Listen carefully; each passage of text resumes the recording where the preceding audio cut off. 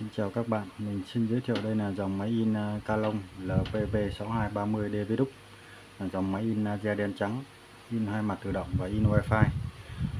À, hôm nay mình xin hướng dẫn à, cách reset network cho dòng máy in này. Để reset network thì sau trước khi reset thì mình sẽ in test. Một tờ. Để in test coi ra địa chỉ IP của mà, mà máy in thì chúng ta ấn vào giữ cho đến khi à, máy in à, khởi động là chúng ta thả tay ra Đó, như máy in à, đây.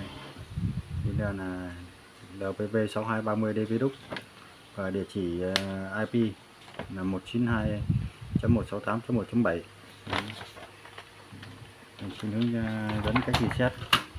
Để reset máy in này thì chúng ta tắt nguồn máy in.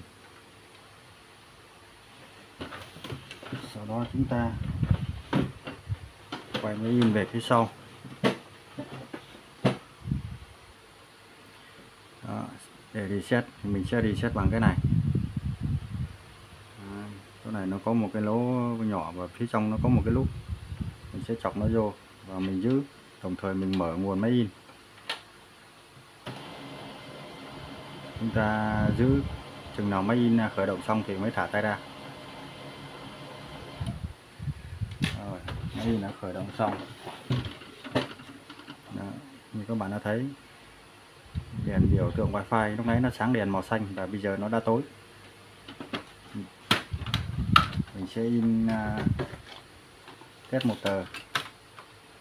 Để in test thì chúng ta chỉ cần giữ bấm và giữ nút màu trắng.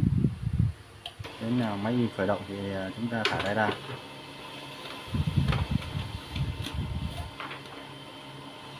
Đó như là tên máy in là LBB 6230 DV đúc còn địa chỉ IP ở đây đã trở về không hết rồi.